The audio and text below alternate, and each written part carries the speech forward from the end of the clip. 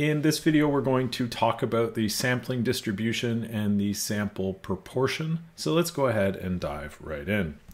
So when we're talking about sampling proportions, we should differentiate between the proportion of a population and the proportion of a sample. And we do that by letting p hat represent our proportion for our sample, that is p hat, and p represent the proportion of our population.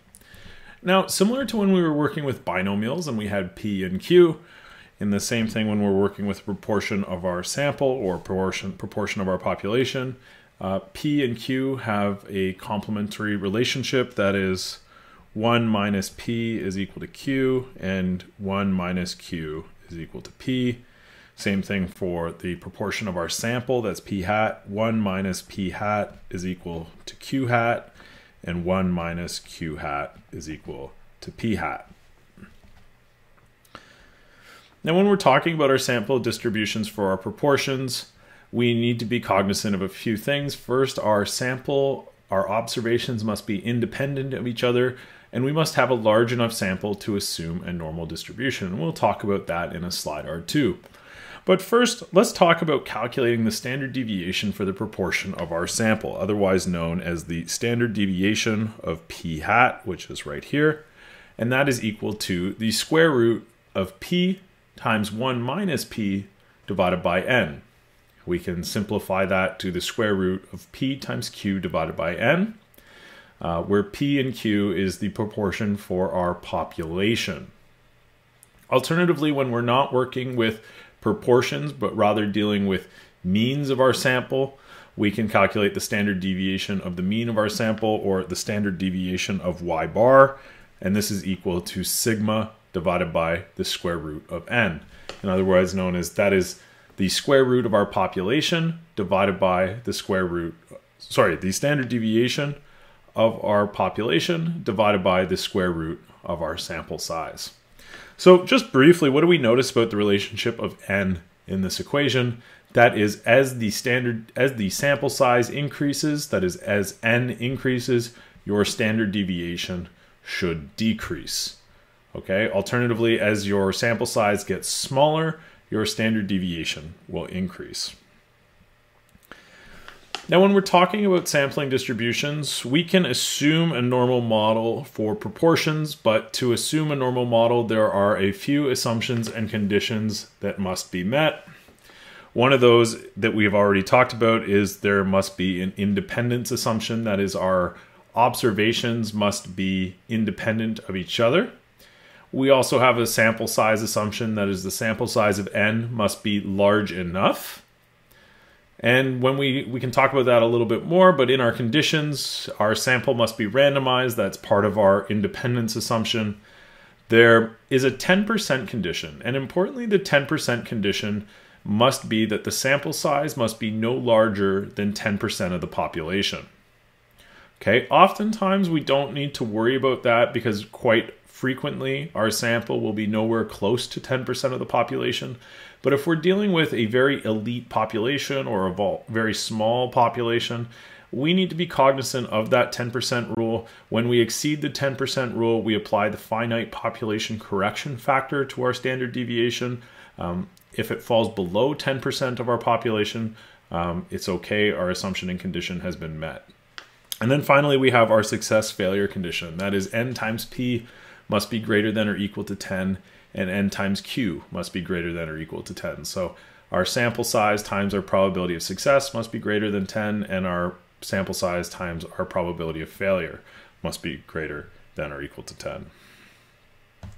So once we've checked our assumptions and conditions, we can apply a normal distribution to our model. And when we do so by just calculating a z-score as we've done before, um, if you need to revisit the normal uh, uh, distribution, see the videos on the normal distribution. Um, and when we calculate our z-score for the proportion of our sample, all we're taking is p hat, that is the observed proportion of our sample, minus p, that's the proportion of our population, or our expected proportion, divided by the standard deviation of the, sam of the proportion of our sample, that is p hat, our standard deviation of p hat. So that's our z-score. And just a reminder, how do we calculate the standard deviation of p hat? Well, that's the square root of p times 1 minus p divided by n, or square root of p times q divided by n. Okay, where p is the proportion of our population and q is uh, the proportion of the complement of our proportion of our population. And then finally, this kind of all builds into what's known as the simple central limit theorem, and that is that the mean of a random sample of a sampling distribution who can be approximated by the normal model, the larger the sample, the better the approximation will be. So in other words, the, the larger the sample, the closer to the true proportion of the population we can expect to receive simply by um, measuring more people, we can expect a closer proportion of the sample relative to the true population. So let's go ahead and put some of this into practice and we'll do a few pra uh, practice problem here. So an investment website draws a random sample of 250 investors from its customers. Suppose that the true proportion of smartphone users is 0. Point, is 37% or 0.37. So A, what would the standard deviation of the sampling distribution of the proportion of smartphone users be? Well, let's first write down what we know. So we know that our sample size, n, n is equal to 250, and we know our, our proportion of our population is 0.37, which means that therefore 1 minus p is equal to q, so 1 minus 0.37 is equal to q. So 1 minus 0.37 is equal to 0.63 is equal to q. Okay, so now that we've written down what's been given to us in our question, let's go ahead and solve for A. So what is the standard deviation of the proportion of our sample? So our standard deviation of the proportion of our samples, SDP hat, is equal to the square root of p times 1 minus p divided by n. Well, this is equal to the square root of 0.37 times 0.63 divided by our sample size, which is 250. So we go ahead and do that. So 0.63 times 0.37 divided by 250 and we take the square root of that value and we get a standard deviation of 0.03054 and we'll just leave it at four decimal points. So that's our standard deviation of the proportion of our sample. So we have done question A. So what is the probability that the sample proportion of smartphone users is greater than 0.37 okay B so let's just look at this for a second. And we're going to ask ourselves if we can assume a normal distribution. So what we're told is um, we're told that we have a random sample. So we'll assume that the sample is independent. We're going to assume that we have a large enough sample size. Our respondents have been randomized. We have less than 10% of the population. We know that there are multi millions of smartphone users, so 250 is certainly less than 10% of the population of smartphone users. And we have n times p, n times q greater than or equal to 10. Well, 250 times 0.37 is greater than 10, and 250 times 0.63 is also greater than 10. And if you don't believe me, 250 times 0, 0 0.37 is 92.5. So this is greater than 10. And 250 times 0 0.63 is 396 or 396.83 and this is greater than 10. So our assumptions and conditions for a normal distribution have been met. So when we're asked what is the probability that the sample proportion of smartphone users is greater than 0.37, we can go ahead and calculate a z-score. So z is equal to p hat minus p divided by our standard deviation of p hat. Well, in this case, the observed proportion of question is 0.37 minus our expected proportion, which is 0.37, divided by our standard deviation that we calculated right here in question A, which is 0.03054. Well, 0.37 minus 0.37 is 0. And if we think about our normal distribution, we can draw our normal distribution. Looks like this. And we're centered around a z-score of 0. Of course, we're given our z-score is equal to 0. And we know that it's perfectly symmetrical about our mean, which means that 50% of our observations fall below 0 and 50% of our observations fall above 0. So therefore, the probability that the sample proportion of smartphone users is greater than 0.37, well, we can write this. The probability that Z is greater than or equal to 0 is equal to 1 minus the probability that Z is less than or equal to 0. So this is 1 minus 0.50, which gives us a probability of 0.50. Of course, you don't really need to do this last step. Um, simply knowing a z-score of 0 will give you a probability of 50% greater and 50% less is sufficient, but I wanted to show you how to do it. Question C, what is the probability that is between 0.32 and 0.42? So let's just draw this out and imagine what they're asking. So again, we're assuming a normal distribution here.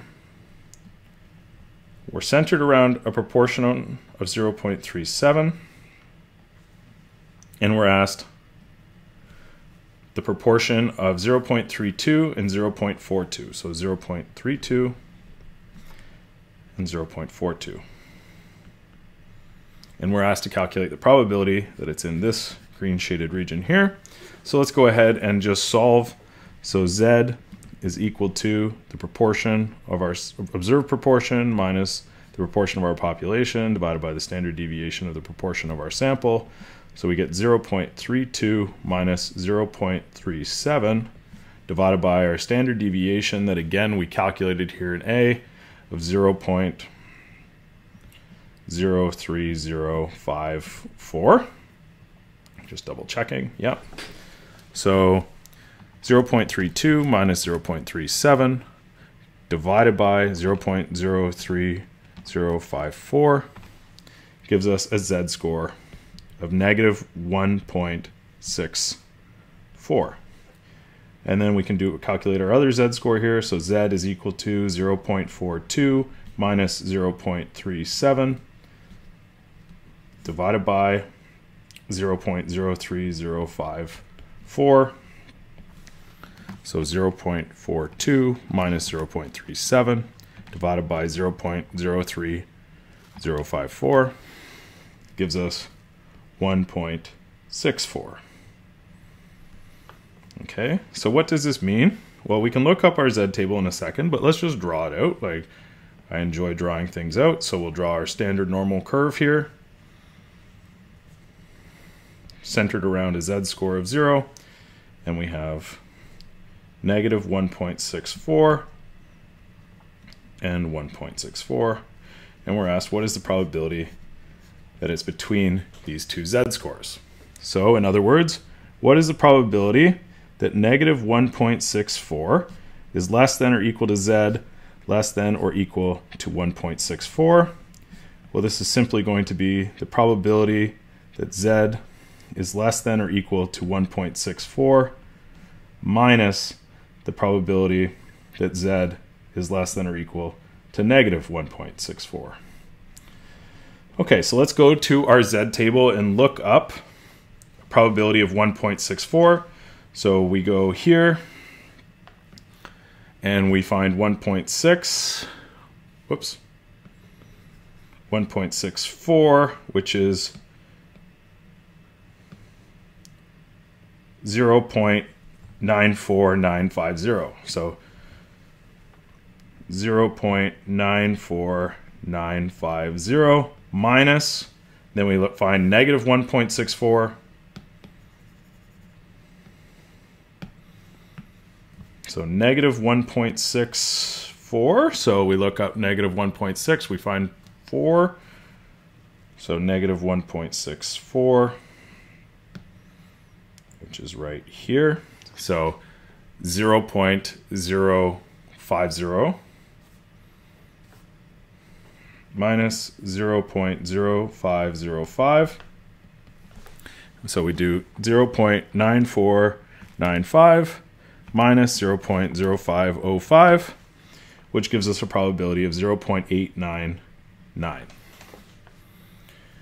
then finally, we do our last, uh, we have two more questions here. So what is the probability that it's less than 0.32?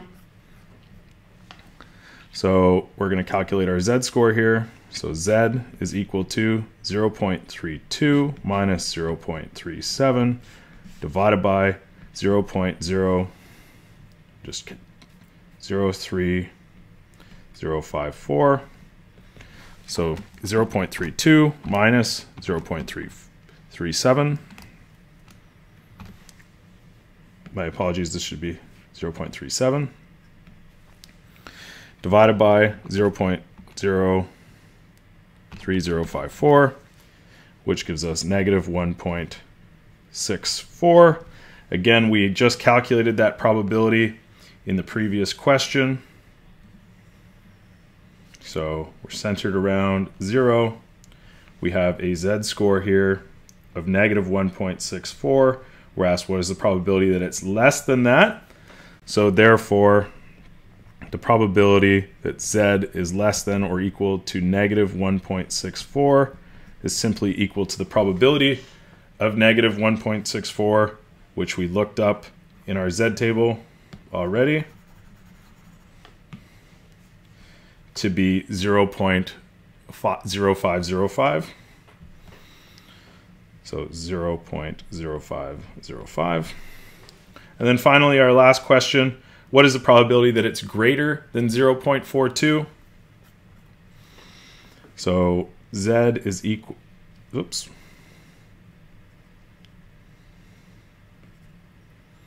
Z is equal to 0.42 minus 0.37 divided by 0.03054.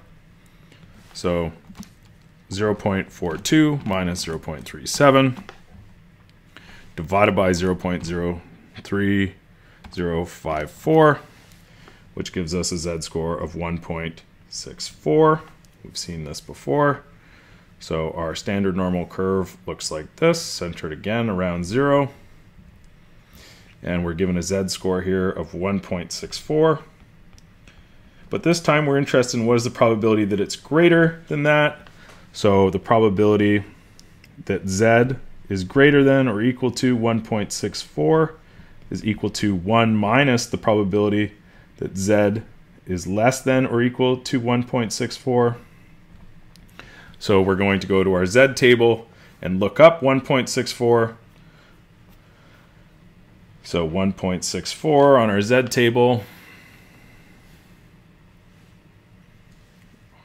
1.64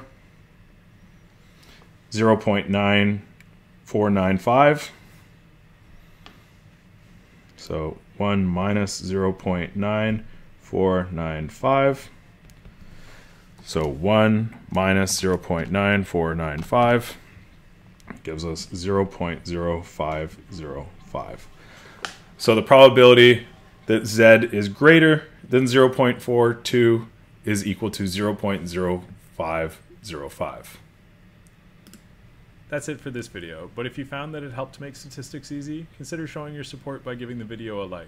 And if you still need more help with statistics, then consider subscribing to the channel if you haven't already. I look forward to solving many more problems with you next time.